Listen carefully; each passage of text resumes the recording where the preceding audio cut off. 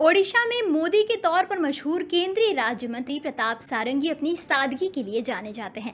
वे BJP के ticket पर ओडिशा से लोकसभा चुनाव जीतकर सदन में पहुँचे हैं। सोशल मीडिया में प्रताप सारंगी को ओडिशा का मोदी के नाम से ही जाना जाता है। इस बार ओडिशा में बीजेपी ने आठ सीटों पर जीत दर्ज की है। सारंगी साइकिल से चलते हैं और किसी को भी जब ज़रूरत होती है तो उसकी मदद के लिए सबसे आगे रहते हैं। ओडिशा के नीलगिरी में गरीब परिवार में जन्मे पैंसठ साल के प्रताप चंद्र सारंगी ने शादी नहीं की है। समाज को ही अपना परिवार मानने वाले सारंगी अध्यात्म से जुड़े हुए हैं।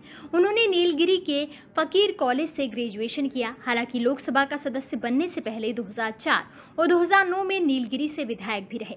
हालाँकि 2014 के लोकसभा चुनाव में वो बीजेडी के रविंद्र जैना से हार गए थे, लेकिन इस बार उन्हें पार्टी ने फिर टिकट दिया और वो जीतने में कामयाब रहे। इस बार लोकसभा चुनाव में उन्होंने बीजेडी के करोड़पति उम्मीदवार रविंद्र जैना को करीब तेरह हज़ार वोटों से हराया।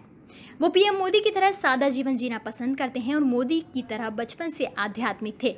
जिस तरह से पीएम मोदी भी साधु बनना चाहते हैं, सारंगी भी साधु बनने के लिए कई बार रामकृष्ण मठ भी गए हैं।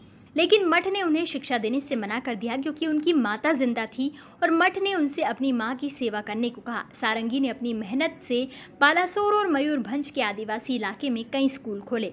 विधायक बनने के बाद भी साइकिल चलाने वाले प्रताप सारंगी समाज सेवा को सर्वोपरि मानते हैं। Subscribe our channel and press the bell icon for more updates.